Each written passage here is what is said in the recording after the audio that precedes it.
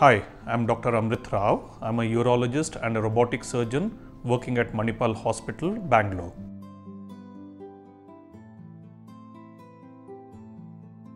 Prostate gland is present only in men.